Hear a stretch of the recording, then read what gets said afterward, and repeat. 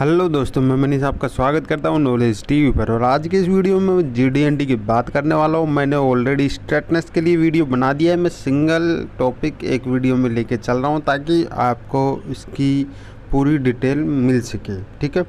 Straightness के लिए मैंने जो वीडियो बनाई है, उसका लिंक आपको डिस्क्रिप्शन में मिल जाएगा, वहाँ से आप चेक करके और उसे देख सकते हैं कि क्या स्ट्रेटनेस होता है।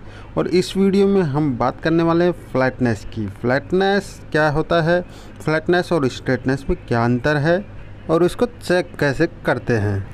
तो भाई ड्राइंग में कुछ इस तरह का तो आपने देखा होगा, एक बॉक्स जो होता है, जो ये बॉक्स है रेक्टेंगुलर इसको बोलते हैं फीचर कंट्रोल फ्रेम और इसके अंदर जो आप ये सिंबल देख रहे हैं ना भाई, ये है फ्लैटनेस का सिंबल और ये जो फीचर है, इस पर जो एरो लगा हुआ है तो ये कह रहा है कि भाई, ये जो फीचर है ना, इसकी इस सरफेस के जो फ्लैटनेस है ना, वो कितनी हो सकती है? Zero point zero three M M बोले तो तीस माइक्रोन मैक्सिमम हो सकती है, ठीक है?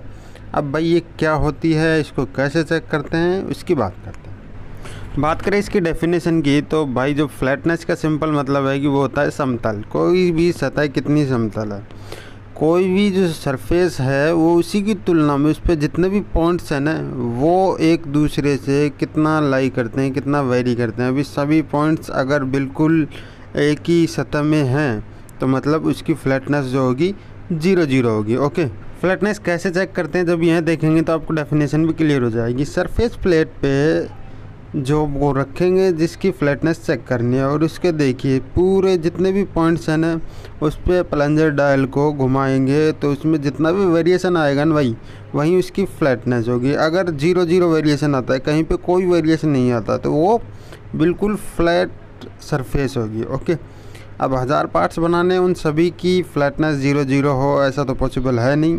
तो उसको हम कंट्रोल तो कर सकते हैं ना तो इसकी एक टॉलरेंस दी होती है। उस टॉलरेंस जोन में अगर पार्ट बनता है तो वो ओके पार्ट है। अगर नहीं है तो वो रिजेक्ट हो जाएगा, ठीक है?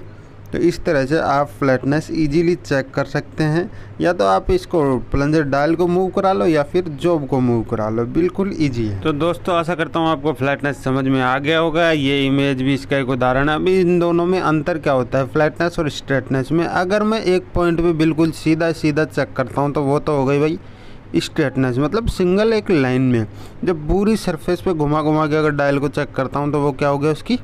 फ्लैटनेस तो आपको क्लियर समझ में आ गया होगा कि स्ट्रेटनेस और फ्लैटनेस क्या होता है। फ्लैटनेस जो होती है वो थ्री डायमेंशनल होती है और जो स्ट्रेटनेस होती है वो टू डायमेंशनल होती है, ठीक है?